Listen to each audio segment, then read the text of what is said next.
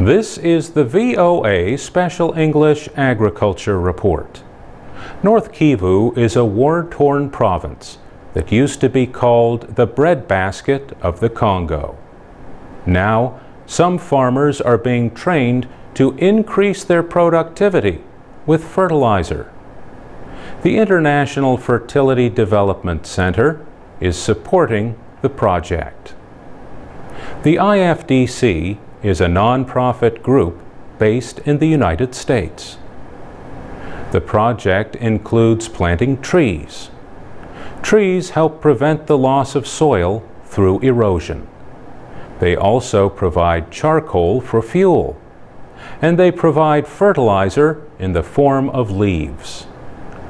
Other farmers are experimenting with chemical fertilizer. The farmers use a mixture of chemical and organic fertilizer. They also use improved seed. They say they have succeeded in growing three or four times as much maize, rice, beans, and potatoes. The fertilizer costs around a dollar and thirty cents a kilo. But workers from the IFDC say if it triples a yield of potatoes, for example, it means twice the profit. Farmer Adrien Kangele says the new methods promoted by the group could be a solution to ethnic conflicts in the Kivu region.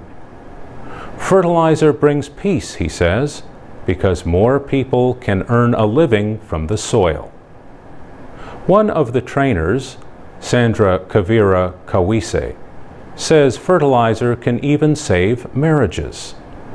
She says in one area, many of the men had left their wives and gone to work in the mines. Then their wives started using fertilizer and their yields of rice tripled.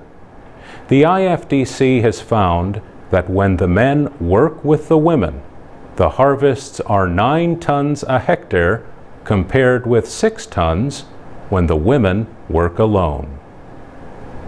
Dutch scientist Henk Breman designed the fertilizer project. He says the Democratic Republic of Congo uses less chemical fertilizer per hectare than any other country. Mr. Breman suggests that one reason is a lack of government policy. Another is the influence of donors and international non-governmental organizations that for about 20 years were against more intensive ways of farming.